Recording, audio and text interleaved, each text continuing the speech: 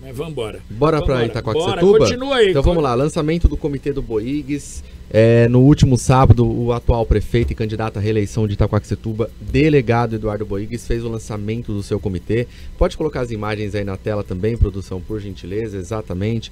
A foto do delegado Boigues ao lado do vice Rogério Tarento e também do André do Prado, presidente da Assembleia Legislativa, é, mostrando ali a força e a união do PL. Vale ressaltar também Aquela que região ali é o quintal do, nós do vamos André do Prado, né? Nós vamos chegar né, nesse ponto. Aí você vê a foto do Rogério Tarento, do delegado Eduardo Boigues, o André do Prado e a galera, a turma ali atrás, foi muita gente.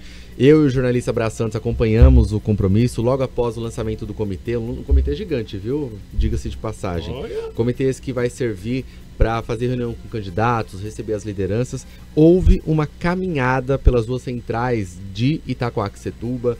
É, nossa, muita gente mesmo, agora olhando a imagem de uma forma mais detalhista, né? Mas houve uma caminhada até a praça principal, a praça, se eu não me engano, da Matriz, mas nessa caminhada notou-se que o prefeito tem de fato uma excelente aprovação e haja vista que há a previsão lá, Donizete, de vitória no primeiro turno. A previsão de aliados e interlocutores ali do prefeito, Já vem, ele, delegado segundo Eduardo consta, Boigues. ele já, eu já vinha dando notícia disso, ele tem é, uma boa aprovação, tem feito um bom trabalho, né? Vamos aguardar.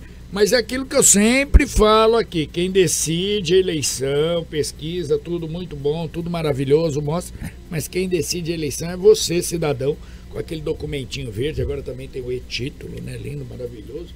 Você vai lá e decide. Nós somos a maior rádio digital com jornalismo regional do estado de São Paulo.